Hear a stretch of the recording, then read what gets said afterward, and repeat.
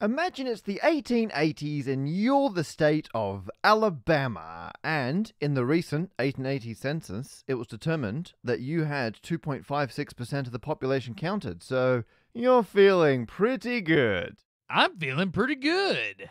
That population is handy too, because in the US House of Representatives, the number of seats you get is proportional to the percentage of the population that was counted in the census. And so let's say hypothetically that there were 299 seats up for grabs. Alabama should get 2.56% of those, which is 7.65 seats, kind of a fraction of a seat. So Alabama gets eight members of the House of Reps. Pretty good. But then imagine they decide to add one more seat to the House of Representatives. There's now 300 positions available to go around. And you see that extra seat wander over and join Illinois. That's pretty good, you think. I'm happy for them. But then one of your representatives just gets up, leaves, and goes to join Texas. What? What's going on?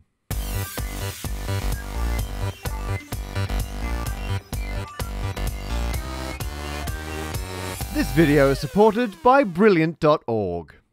You can get some really weird counterintuitive results when it comes to sharing a finite number of resources that can't be subdivided between a set number of individuals or states or organizations, whatever the case may be. And this area of mathematics is called apportionment.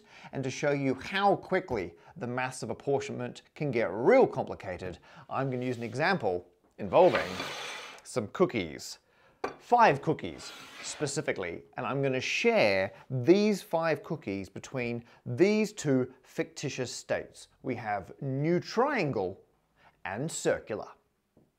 These cookies need to be allocated based on population because more people means more cookies. That's fair enough. And the combined population of the united shapes is 5,000 people. So one cookie per thousand people. However, 2,800 people live in New Triangle and 2,200 people live in Circular. So it means New Triangle should get 2.8 cookies and Circular should get 2.2, but we can't subdivide the cookies. So we're just gonna have to round.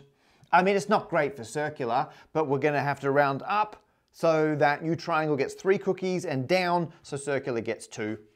It's just how rounding works. I mean, even if the populations are a bit different, and let's say New Triangle should get 2.51 cookies, and circular should get 2.49, even though they're almost the same, we're still gonna have to round. But it's just rounding, right? No one can argue with that. You just round to the nearest whole number. How can that possibly go wrong? But what if a new state joins the Union?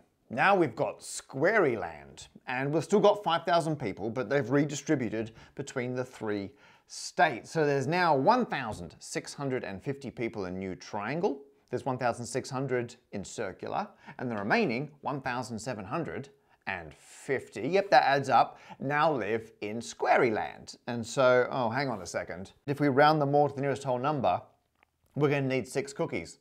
So round, rounding's not gonna work. So, oh, what are we, oh. I mean, someone is gonna have to get rounded the wrong way, and they're probably gonna be quite upset about that.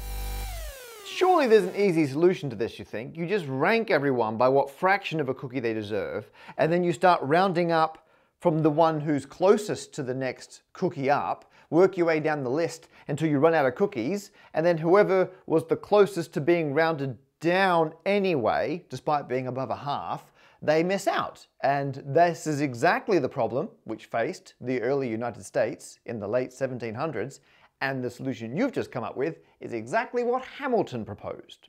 The Alexander Hamilton method was not without its problems, and I'll demonstrate with our now five shape united shapes. They've been joined by Octiana and Rhombus Island. I've also adjusted the populations to be a bit more realistic, still very small though. Total of 40,075.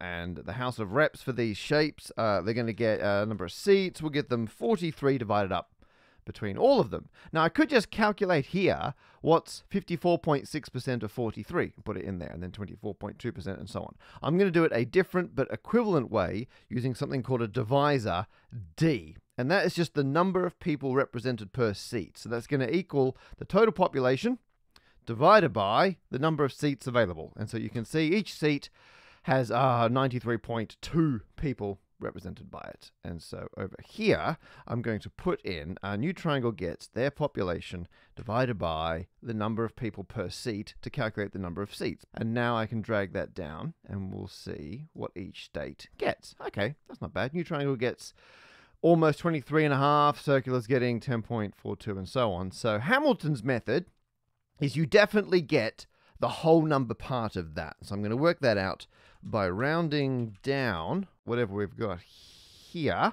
but uh, we don't want any digits after the point. There we go, 23. Now I can drag that down. And then our leftover bit is just the original number, and we'll subtract off the whole number part. Okay, so Hamilton's method is to, everyone definitely gets these seats, which means, what have we given out so far? We've handed out 40 something, I guess. 41 of the available seats and all the leftover ones are here. So what we need to do now is take all the states and now we're going to sort it by this final column here. And there we go. You can see Octiana had the biggest chunk left over, followed by a new triangle and so on. So what we'll do now, actually, you know what? First of all, uh, we'll give them what we already gave them. So just so we don't lose track of what we've done. And now I start at the top and go, okay, Octiana, you were the closest to going up. So now I'm going to increase you from three to four. Uh, we're still one short of 43, so we'll increase the next one down. And there we go. That's the Hamilton method. I'll put these back in their original order now. There we go, we're back where we started, and that's how Hamilton would hand out the seats. Now, while we're here, the Alabama paradox comes about because these kind of leftover bits are not truly random, but they do jump around a lot. Over here, I'm going to change this to be one more. I'm going to change it up to 44. Bam! These are look at this, totally different. So this new triangle, what was new triangle?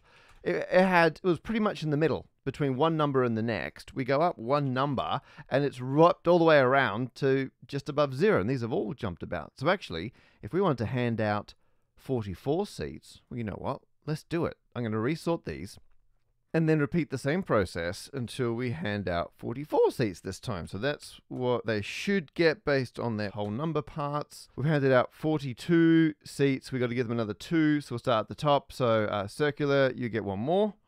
There you go. And then uh, Squaryland. Huh, you get the next one. There we go. And there's now our 44. Put them back into their original order. Now they match back up with what we had before over here, and you can see new triangle in both cases get 24. One extra seat, you could say, goes to circular, but then look here, Squaryland uh, has gained a seat as well, and Octiana's lost a seat. So by increasing the total number of seats available, Octiana lost a seat. They had four when there were only 43. If we go up to 44, they've only got they got one fewer. And so that's where the Alabama paradox comes from. It's because we're using these like leftover fractional bits to sort and when you're changing this, they're jumping around in a pretty erratic manner, and it's just down to the luck of how these rank, whether or not you're one of the states that gets bumped up. However, back in the late 1700s, they had no idea about the Alabama paradox, or for all they knew, it was just a nice logical way to sort and hand out the bonus seats fairly.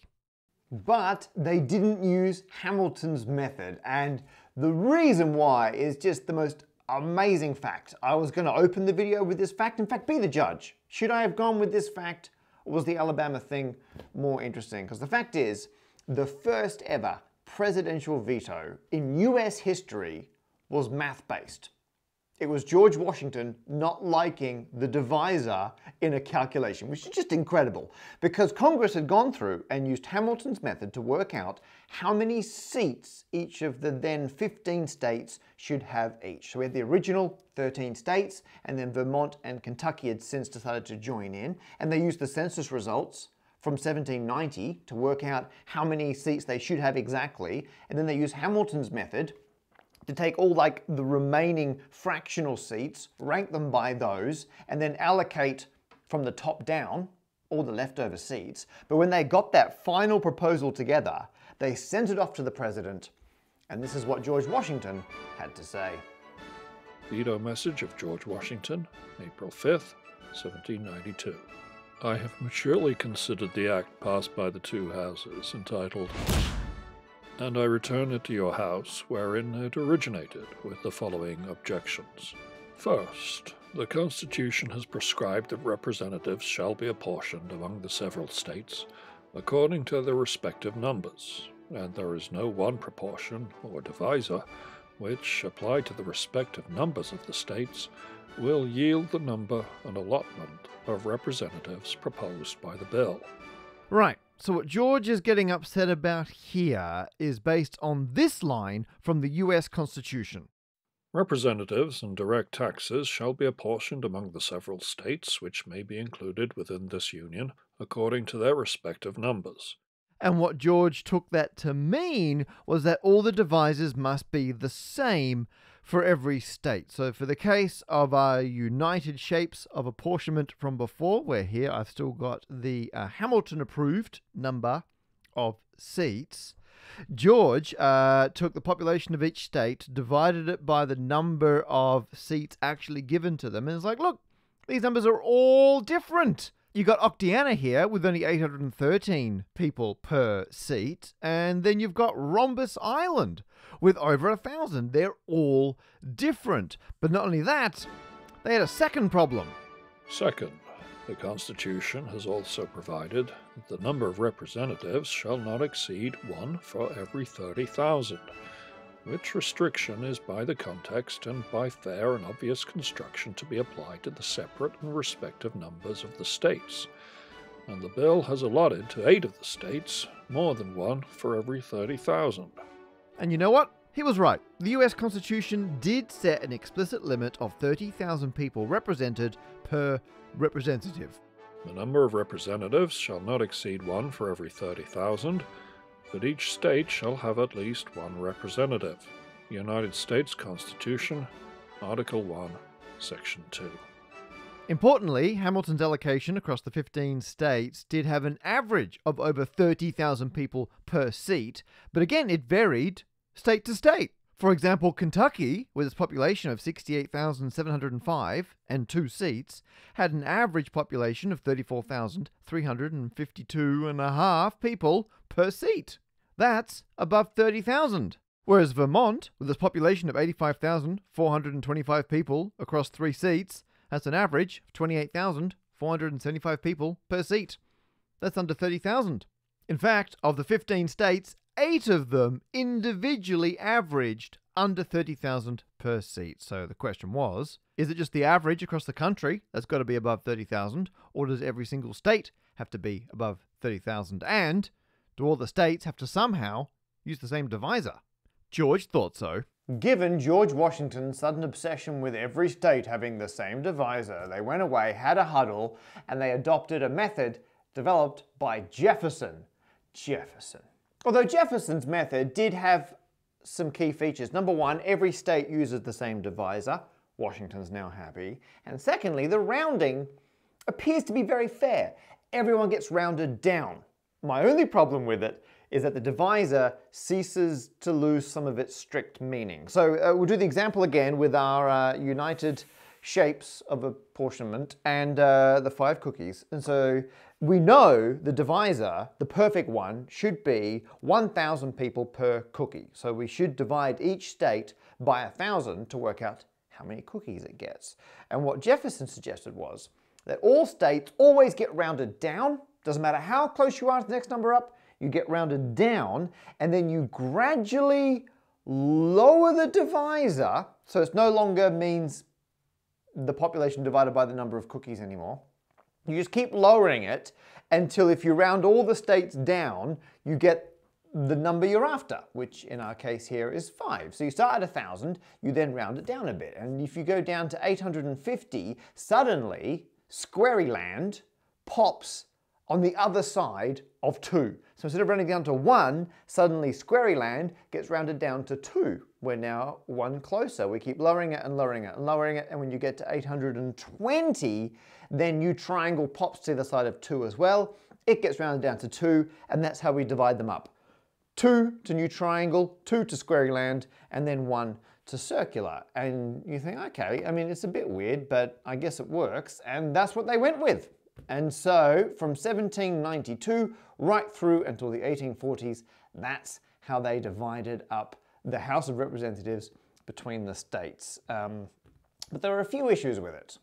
The first issue is that the Jefferson method favors bigger states like New Triangle and Circular and disadvantages our smaller states like Rhombus Island and Octiana. So, to demonstrate why that happens, I'm once again going to calculate the D value, which is the total population divided by the number of seats available. And I'm just going to call that, that's just a D for the divisor D at the top there. And then the way you actually work out the true number of seats is you get the population of each state and you divide it by the number of people per seat. And then I can drag that down. So here's our ideal seats. And a little reminder, I'm going to label that with what the equation was.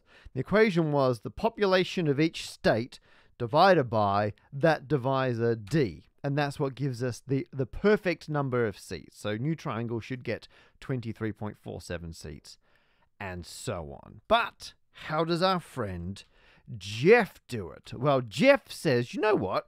Just pick your own divisor, and we'll start with one very close to the correct one. So we'll have uh, 930, and you know what? I'm going to call that. If this is Jeff, this is this can be our DJ. This is our, our divisor Jeff, which means we want this column here, which uh, equals each state's population divided by the DJ, which is just the divisor as determined by Jeff. And so I'm going to very quickly fill that in. It's the population of each state divided by the DJ. Uh, we've still got the issue where we've got fractional seats. And so Jefferson says you just always, you round it down. Every single one goes down. So you pick that number there and it's uh, going down. And then uh, that's it. That's how you do it. But hang on. I don't think we've got the right number of seats there. How many have we got? We've got uh, some of those seats. And because we're rounding down, unsurprisingly, too few 41 when we wanted to have 43. So what we have to do, if we're rounding down, we need to increase these values until they round down to bigger numbers. And to increase these, look at the equation, it's the population divided by the DJ. If the DJ got smaller, then this calculation will give you a bigger answer. So if we decrease this, so let's decrease it down to, let's say, uh, 920. So it's a bit smaller, and these are now a little bit bigger. Not enough to change the rounding, but they're bigger. We can actually bring it down to 900. And suddenly, new triangle now rounds down to 24 because we've increased this total value enough by decreasing the DJ that it now rounds down to a new value. So it's the first one to gain a seat because it now rounds down to a bigger number, but we're still one short. So we've got to keep going up. So let's bring that down to 880. Uh, and there we are. Circular's now jumped over. And you can see why this favors bigger states because in this calculation here, the population divided by our new D value, DJ, if this is this is like linear and the bigger the population the faster this moves and so bigger states race up faster than smaller states and so it's the bigger states that round down to a bigger number first and we can compare that to the Adams method by our friend John Quincy, who said, okay, same deal. You start with some divisor. This is another DA. And uh, over here, once again, this is going to equal the population of each state divided by the divisor according to Adams and we can fill that in. So there it is, population of the state divided by that divisor up there. And again, initially it equals the, the true values, but now Adams, who's like the opposite of Jefferson, says when you round, you always round up. So we're going in the other direction. That number rounded up, nothing left over. There we go. And um, our issue is going to be here. If we add these up, we're now getting a number that's too big because they're all being rounded up. So what we have to do is we have to decrease these values, and to decrease these values, you've got to increase this value up here. So if we increase that to 950, uh, all these numbers have gone down. Oh, look at that. New triangle's about to go below 23, which means instead of rounding up to 24, it'll round up to 23. So if we increase it just a little bit more, let's go up to 960. There we are. Okay, this is now dropped below 23. So it rounds up to 23 instead of 24, and we're now getting a bit closer. So once again, we're using the same calculation, so the bigger states are changing faster, but because now you don't want to change fast, because the first states that go below are the ones that lose a seat. So now this is favoring the smaller states because they're not dropping down, and it's disadvantaging the big states because they're dropping down first. Whereas here, it advantaged the big states because they jumped up first. But that's only one problem. Did you spot it?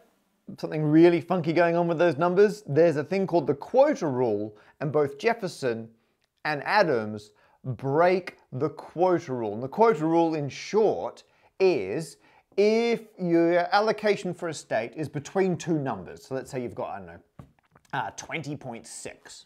The quota rule states you either round up or you round down, but that's it. So 20.6 has to either go to 21 or 20. You've got to go to either side of the exact allocation you're given. Sure, you may round the wrong way, but you're not going to go several numbers in a different direction. Well, check this out. In my previous example, if you're paying very close attention, you will have seen that new triangle should have got 23.47 ish seats, but Adams' method gave them 22. So they've been rounded down by nearly one and a half seats. That breaks the quota rule because this, in theory, should go to 23 or 24, and that's not happening. But I'll be honest, I picked these numbers deliberately because I knew they would give me a quota rule violation. And it's Adams. The Adams method wasn't being used. Jefferson is the one that got enacted.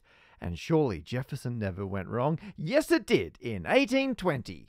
Here are the official results from the 1820 apportionment, and they've got the quota divisor of 40,000, which is what they had to lower it to to get Jefferson's method to work. In theory, it should be 42,124. That's the true value of D, and so we can now replace these values with what they should have been. And Vermont has a case to be justifiably upset. They should have got 5.6, and so getting rounded up to 6, they went down to 5. They've lost 0.6 of a seat, whereas Virginia has been rounded up the wrong way. They've gained 0.75 of a seat, but is it worse than that? Yes, as you can see, Pennsylvania should have got 24.91, and they jumped right over 25 and got 26. They've gained 1.09 extra seats. And look at New York 32.49 should round down to 32. Not only is it rounded the other way, but it's jumped 33 all the way to 34. They've got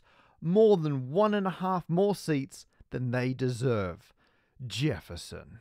And worth noting, our original friend Alabama was due to get 2.98 seats, and that was rounded to 3, pretty much spot on. They were actually the state in 1820 whose assigned seats was the closest to their deserved seats. All right, I'm feeling pretty good. If Jefferson's method breaks the quota rule so much, and it's such a like obvious rule for fairness, like just people intuitively would say, if you're going to be rounding people's allocation, you shouldn't be jumping several numbers in a different direction, right? You should at least be on an adjacent number. So how did it hang around for so long? Well, it's because it favored big states. And guess who had the most votes in the House of Reps about what method to use? Yep, big states. The old feedback loop of power. However, eventually, the problems became so obvious that something had to be done. And in the 1840s, they went back to our friend Hamilton's method. I assume all of this is in the musical Hamilton. I've not seen it. I hear it's amazing. I assume they they go through apportionment in great detail. So I apologize if anyone's seen it and it's all in there already. Um, I don't know, but I think it's super amazing that even though Washington originally vetoed it, the flaws in Jefferson became so obvious that they flipped back in the 1840s. However, in the 1880s, after Hamilton had been used for a while, someone in the Census Bureau just, I don't know, out of boredom, decided to go through the results from the 1880 census and just look at what would happen if there were a different number of seats available. At the time, the House of Reps was 325 seats, and they just computed a whole bunch of other possible values. And this is before spreadsheets, they were doing it by hand, amazing. And that's where they discovered the Alabama paradox. They realized with Hamilton's method, if Alabama had eight seats with 299 members of the House of Reps, and you go up to 300, they would lose one.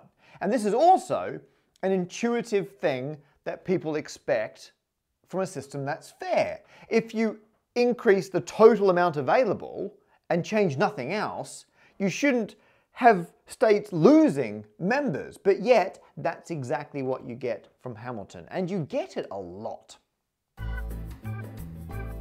Look at all these Alabama paradoxes. So you can see in all these cases, the number of seats in the House increases, but yet these states decrease. And I just found all the best examples for every state from every census year. And I just did one per state, and I only looked at house sizes under a thousand. There are way more that I haven't put in this list, but my goodness, it's pretty much every single state, every single census has a potential Alabama paradox just waiting to happen. Look at him go. We probably don't need to see all of these.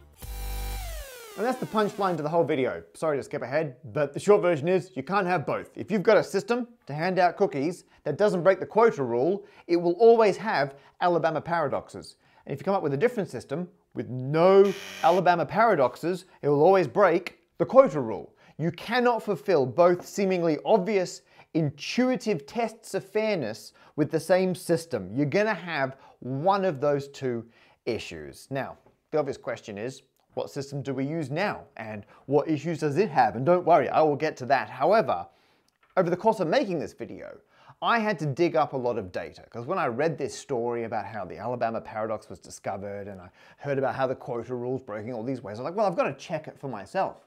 And I was like, how hard can that be? I will just go and get all the data and I will program these different methods and I will run the techniques across all the data. no, it was not that easy. Uh, it was deeply frustrating. And for that purpose, we're going to take a quick trip to the reflection bench.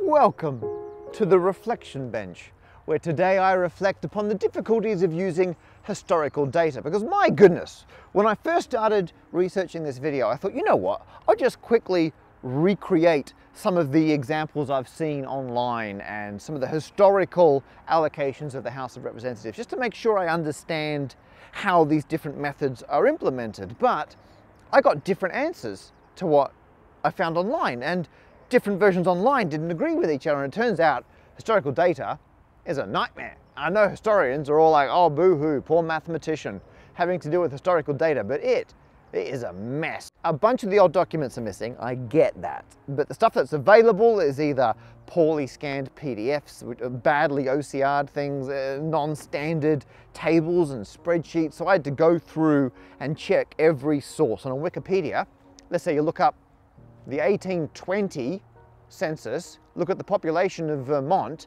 and you think, you know what? I'll just check the source, different number. Uh, okay, it's only off by 200 and something, but still, which is the right number?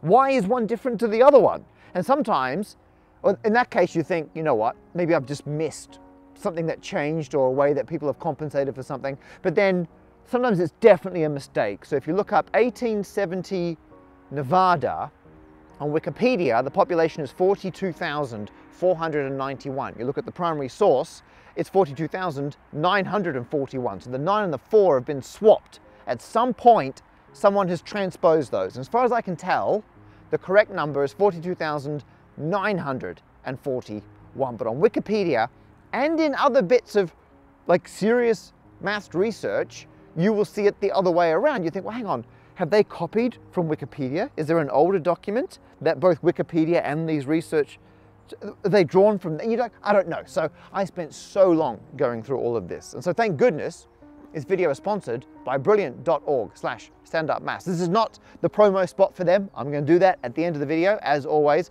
But I just want to mention a lot of sponsors get very upset if you if you delay a video and I've been delaying this video for a while and brilliant are like it's fine they, they've literally been brilliant because I guess I'm trying to investigate and understand a problem and that's on brand for them. So th they've been absolutely amazing. Thank you so much, brilliant.org slash stand up maths. And I think I've got to the bottom of it. And even once I was happy I'd gotten all the original data, that's not the whole story. You can't just use the census data. You've got to convert it into the effective population for the purposes of the House of Representatives. Now, it's a already an infamous part of US history, and it's in the Constitution that if you're doing a census for the House of Reps, anyone who's enslaved, any non-free people count at a ratio of 3 fifths. which shall be determined by adding to the whole number of free persons, including those bound to service for a term of years, and excluding Indians not taxed, three fifths of all other persons. And I get it, it's history, people know about it, but I still had to type in my spreadsheet that the population of humans multiplied by three fifths. And I don't know, it, it felt wrong for it to go uncommented upon. Um, so there you are. And even after the Civil War, it's still not the same as what you see in the census data because you've got to factor in overseas troops. So the census data is the number of people who live in a state, but the number you use for the House of Reps includes people from that state who work for the US who are living overseas. And I definitely saw people naively just take the census results and use that when they're analyzing the House of Reps. Nope, whole thing's a mess. I don't know. Uh, the moral of the story is uh, always roll your own data or um, always check primary sources. I mean, check me too. I'm, I mean, I, whenever I did a calculation, I'll try to verify it two different ways and I found so many mistakes. I'm worried I've missed some, but everything I found matches the most authoritative sources I can find now. But I'll link to my data below, check it out uh, and let me know if I've made any mistakes. And I've not yet corrected Wikipedia. So um, I leave that to whoever wishes to carry on. I've had enough. I feel better now. So what technique does the US Congress actually use now? Well, for a while it used something called the Webster technique, which is the same as Jefferson and Adams, except instead of systematically rounding up or down, you just round normally. I mean, it's the most obvious answer, and it was the last one people came up with. And then you just vary the divisor until, if you round everyone normally, you get the total that you've allocated in the House of Representatives. However, since the 1940s, the technique officially used by the US Congress is the Huntington-Hill technique, which I'm just going to call the Hill method. And the way the Hill method works, bear with me, is first of all, you assign whatever the minimum is to every single state, which is currently one. Everyone's guaranteed one representative. So you give every state one, and then you imagine you've got all the other, you know, potential representatives lined up and you hand them out one at a time to the different states. And you always give it to the state that would benefit the most. And the definition of benefit the most is whichever state has the highest current divisor. So by getting another representative, they're the one who's like the most out of alignment with their local divisor compared to the national divisor. But it's not just their current divisor, it's the geometric mean of what they have got and what they could have. So instead of just taking the population of the state divided by their current allocation, you take the population of the state divided by the geometric mean of the current allocation and if they had one more. So the square root of their current number of House of Reps seats multiplied by one more than that. And whichever state has the highest value for that metric gets the next representative, which sounds ridiculous, but it works. And it ends up just solving the problem of how would you optimize the exact number of seats for every single state so that each state's local divisor is as close to the ideal national divisor as possible. Let's not forget though that of course Hill's method does technically violate the quota rule. There are certain circumstances where Hill's method will overshoot the rounding in one direction or the other. And the only way to avoid that would be to use Hamilton's method, which I have a real soft spot. It's the only method ever used which doesn't have quota rule issues. But of course, it can give us the Alabama paradox. But how likely are these things? I mean, how likely is Hill's method to actually have quota rule issues? And how likely is Hamilton's method to actually give us an Alabama paradox situation? Well, the only way to compare the two would be to go back and analyze every single US census in history with both different techniques and compare how they would have allocated the seats in the House of Reps to all the states in existence. Yes, I did it. Of course I did. And you're right. I do deserve another cookie. So, they're generally pretty close, to be honest. So in 1790, there's only one different. Hamilton gave an extra one to Pennsylvania, whereas Hill gave it to Vermont. 1800, exactly the same. Only one different 1810, etc., etc. 1920, I mean, that looks like a lot different. I mean, it's there's the most so far, but it's only three seats that are different right through until in the year 2000. There would have been an extra one to California if Hill had been in charge, which indeed Hill was. An extra one to Utah if Hamilton has still been around. 2010 was a perfect match. And in 2020, and we haven't even rolled out the new 2020 results, Hill, which is the way it's been worked out, has given two to Montana. Hamilton thinks they only get one. Hill's given 26 to New York. Hamilton thinks they should get 27, and, and so on. I also looked at the situations it would take for them to break. So Hill is pretty good. If we had a substantially smaller House of Representatives, if we went down to only 286 members, based on the 2020 census results, we would have a quota rule break for California. They should get 34.185 they'd get 33 instead. Although the odds of the house getting smaller, very slim. Odds of it getting bigger, also very slim. Like, you'd have to go up to 636 members before you'd get the next issue, where again, California would round uh, more than it should. Uh, whereas Hamilton, actually, a bit more likely to break.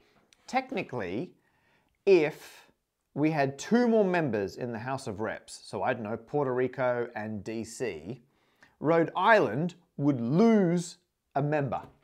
And so that's, I mean, that's a feasibly plausible scenario where we would have an Alabama paradox. So maybe, maybe Hill is the way to go. Although, if you look back over the other numbers, you'll see pretty systematically Hill favors smaller states, whereas Hamilton favors larger states. And that's a political decision, like which is better. There's already the Senate.